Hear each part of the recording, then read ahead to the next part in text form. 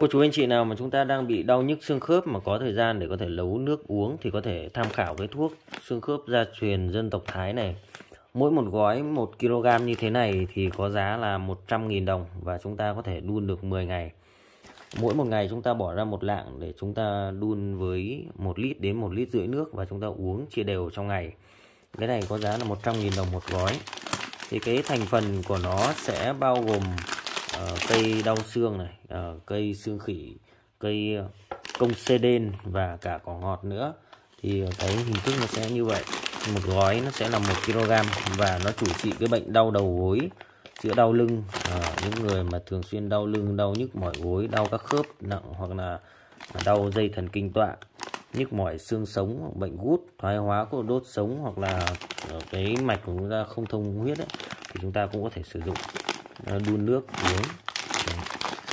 Cái cách dùng thì chúng ta sẽ ờ, đun nước uống. Ở đây ờ, nó có một cái hướng dẫn như thế này nhưng mà là mọi người sẽ chia như thế này. Làm theo hướng dẫn là mỗi một gói như thế này là một kg. Thì chúng ta chia làm 10 lần. Chúng ta đun nước uống và mỗi một lần chúng ta sử dụng uh, một lạng đun với một lít đến một lít rưỡi nước và uống chia đều trong ngày. Ừ thì chúng ta cứ bốc đều cái này thôi bốc khoảng một lạng thì chúng ta chúng ta đun trong một ngày. Ừ. Hoặc là chúng ta có thể ngâm rượu chúng ta uống cũng được. Mỗi một à, thang như thế này thì chúng ta ngâm khoảng 5 lít rượu chúng ta uống. À, ngâm à, sau khoảng một tháng sau thì chúng ta uống được. Đây là cái tất cả những cái thành phần của cái thuốc xương khớp dân tộc Thái này. Đây hoàn toàn là từ những cây ở rừng hết nhé.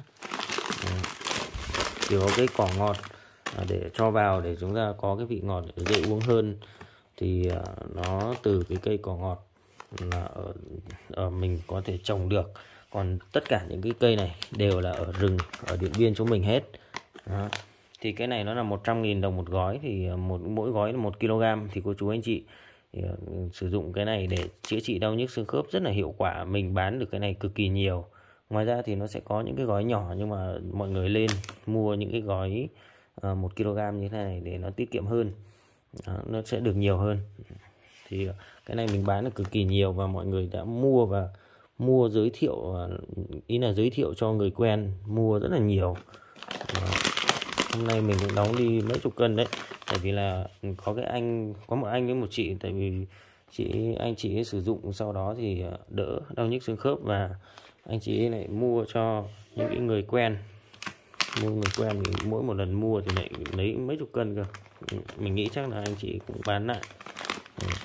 Đó, thì cô chú anh chị bị đau nhức xương khớp thì có thể tham khảo sử dụng cái loại thuốc này nhé. Ok xin kính chào các cô chú anh chị. Chúc mọi người sức khỏe và thịnh vượng.